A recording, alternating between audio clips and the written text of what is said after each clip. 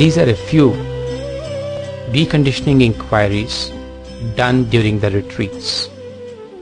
It's important that you study them or listen to them to understand what is the meaning of deconditioning. Students are sharing their freedom experiences. We respect the feelings of each one and request you to do the same.